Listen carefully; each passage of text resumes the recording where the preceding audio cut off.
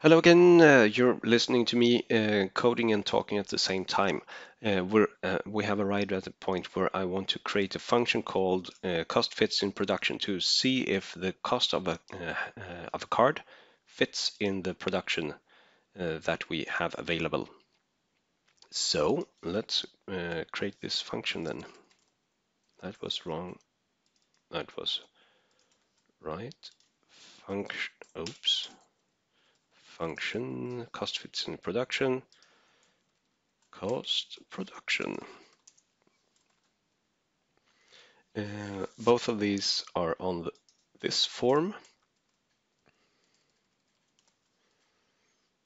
I'm just going to copy these over to have the words to work with. Uh, no, cost can also have the any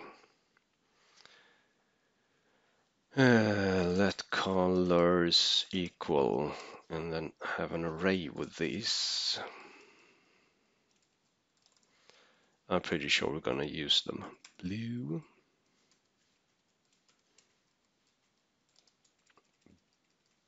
Black. Red.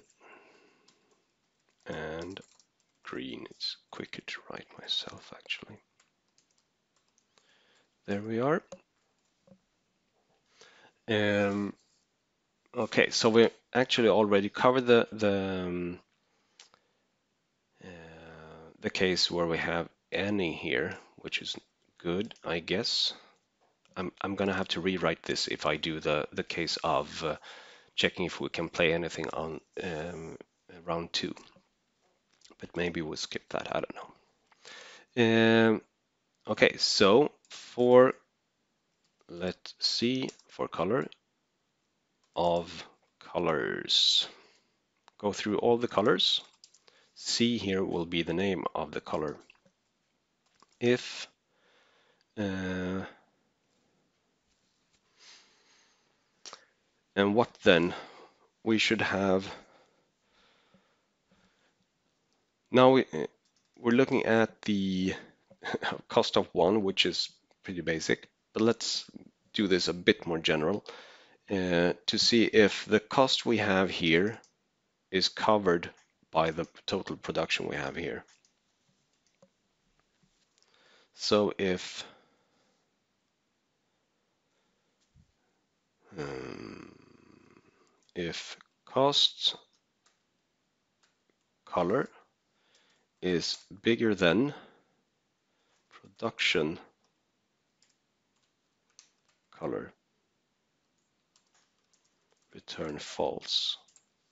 Okay, so if the cost at any time is bigger than the production, if we if it costs one red mana and we have zero red mana, then we're screwed.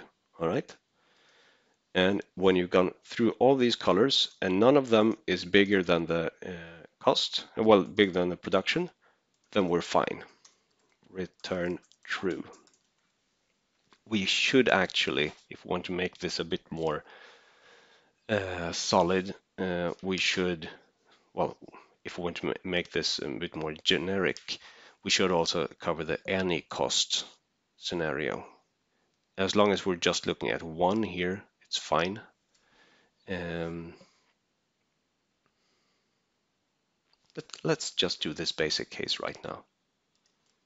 It will work for, for just checking the first hand and we'll be fine with that. I think that's enough for now. Uh, so this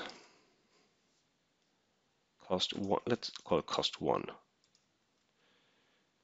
to just denote that this is for only one cost card cards. Uh, checks if color production color cost for a card is covered by the oh yeah. You can remove this one. Just say that it works with color.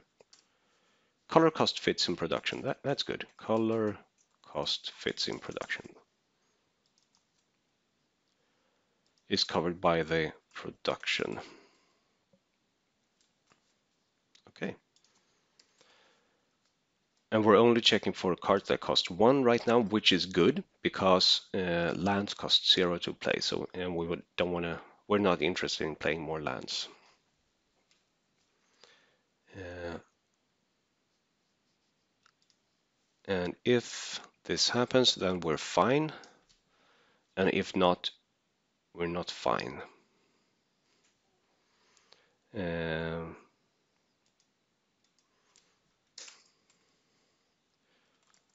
so let's uh, use a variable here to, to keep uh, track of whether we can play one card, any card. Uh, we can play, uh, let we can play equal false. Go through all the hands. If you find anyone that we can play, then set we can play to true. Okay, so let's try this. Run. Debugger, can we play? Yes, we can play. Um, are we sure? We're pretty sure. Let's look at our production. We have two whites here. Let's actually do something a bit smarter. Let's remove all the lands from our uh, our deck, or a few of them.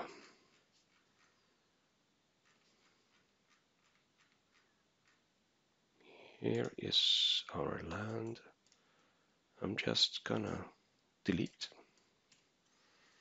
and run a new debugger and we should say that we can play false.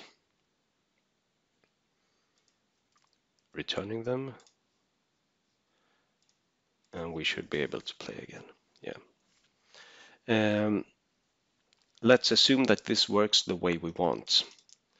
And let's in the next video look at how to store these results and look at the distribution of say 10,000 shuffling and drawing of seven cards. Uh, see you there. Bye.